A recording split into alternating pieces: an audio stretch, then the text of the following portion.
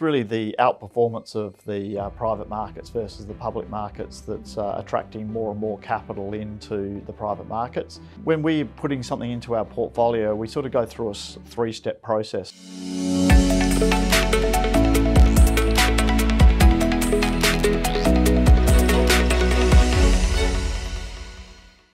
Everyone, welcome to another executive interview. Today we have a guest returning. So we have the pleasure of speaking again with Cameron Blanks, Managing Director at Pacific Equity Partners, Australia and New Zealand's leading private markets uh, investor. Cameron, thank you for joining me. Yeah, thank you for inviting me back, Rhythm. Absolutely. Now, Cameron, as a long-standing member of PEP, a leading private markets investor in Australia, could you please elaborate on the growth of the private markets during your tenure there? Yeah, so if you go back, uh, you know, to 2010, uh, the uh, private markets globally were about two and a half trillion.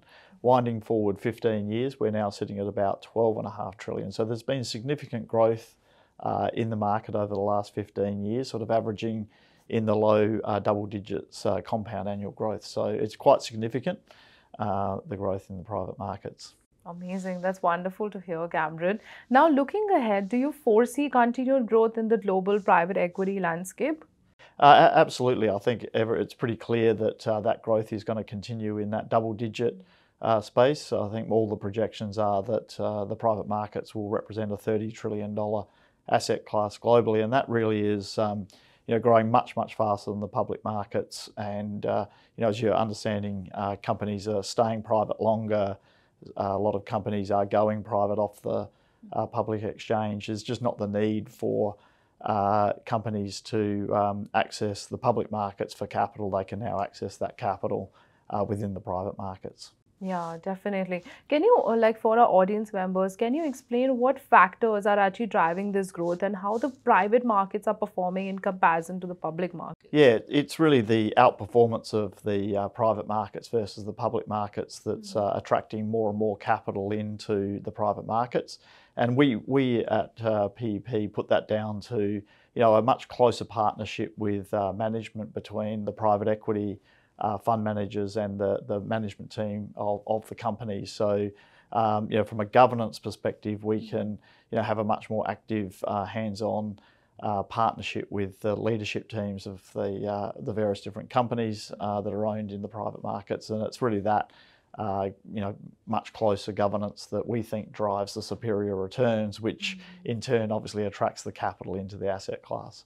Yeah, absolutely. Now, with that context, can you tell us how does PEP Gateway actually enable individual wholesale investors to capitalize on the opportunities that are within the private markets? Yeah, so if you go back, uh, traditionally the private markets and, and, private equity specifically was uh, set up as an institutional investor uh, proposition. So the way that uh, all the structures uh, were put together were to suit ins- institutional investors. You know, things like um, you know, having capital available within 10 days with long lock-up periods, um, like 10-year lock-up uh, where people couldn't, uh, investors couldn't get their money, um, and then very high minimums. All of those things were a real barrier uh, to individual investors uh, getting access to the private markets. Mm-hmm. Um, so what we've done, and, and there are other private equity firms um, that are, are, doing this as well is packaging up, uh, you know, great all-star assets in the uh, in the private markets uh, into an open-ended evergreen structure where investors can come in and out on a monthly basis. Uh, which really at a much lower minimum. So it addresses a lot of the barriers to entry for individual investors that used to exist, you know, with institutional products. So um, you know, we call it our PEP Gateway hmm. uh, program, and uh, you know, it really is available for investors at a, a relatively low minimum at uh, fifty thousand uh, dollars.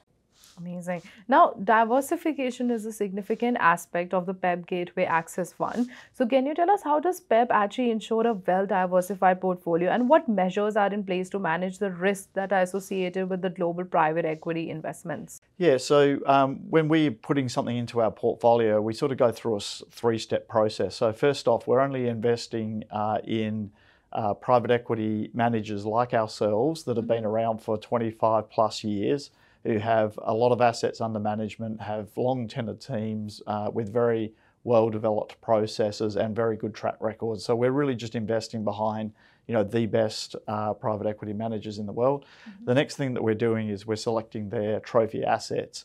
Um, and we're investing alongside those managers, uh, including ourselves, into those uh, trophy assets. Um, and then we do, uh, as a third step, obviously, we do very detailed due diligence on every one of the assets uh, that comes into the portfolio. So we end up with a quite a diversified portfolio of uh, all-star assets in the Gateway Fund uh, with diversity across manager, across geography and across sector. So it's a very diverse uh, portfolio for investors and that's really what manages uh, the risk in the portfolio is that diversity. Yeah, definitely. Well, those were, were some very valuable insights that you shared about the private markets and the opportunities available at PEP as well. So, thank you so much for that, Cameron. Yeah, for anyone uh, watching this interview, if you would like to get in touch with the team, please see the details on the side of your screen or in the description of this video. Once again, thank you, Cameron. Yeah, thank you very much, Ruth.